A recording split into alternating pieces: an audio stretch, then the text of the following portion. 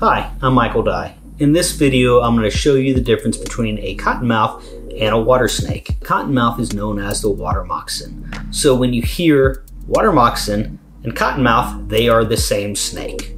Will a cottonmouth attack you? And uh, a lot of people think they will. They think they are the most aggressive snake out there. And frankly, that's just not true they're probably one of the most chilled venomous snakes we have here. They show you they're feeling uncomfortable by giving you certain signs like rattling their tail, hissing, rearing up and opening their mouth, showing you the white of their mouth. That's their warning sign. Will they flat out go after you and chase you? No, they won't. Some people have a delusion that the snake is chasing them. And I say this uh, not likely when I say a delusion because honestly, if a snake is coming at you and you don't understand the behavior of a snake, the snake does not have very good eyesight. It can see a shadow behind you and think that's a hiding place. It's not coming after you. And if it's coming in your direction, do something by moving out of its way.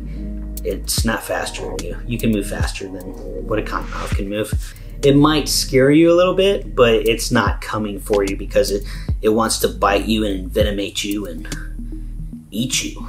Now, to my knowledge, a lot of envenomations have been pure accidents or pure stupidity. Accidents meaning someone's walking in the woods and they don't see the snake and they accidentally step on it.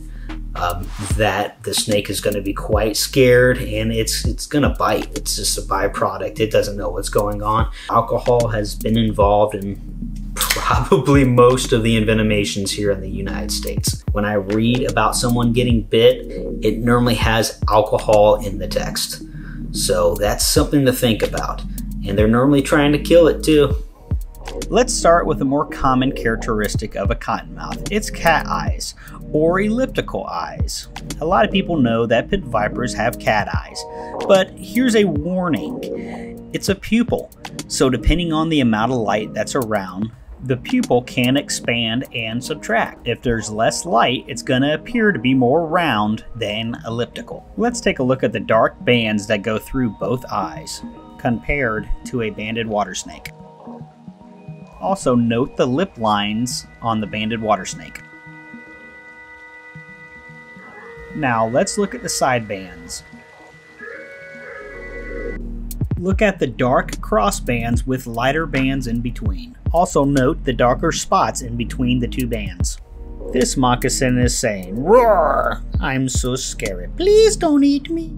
Don't worry, little dude. I'm just here to take your picture.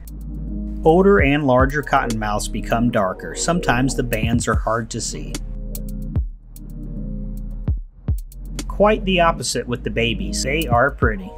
Look at that bright yellow tail. They may use it to lure in frogs and such to their impending doom. A lot of people confuse these juveniles with copperheads, but I'll get into that in another video. Let's go back to the head. You see that little pit close to its eyes?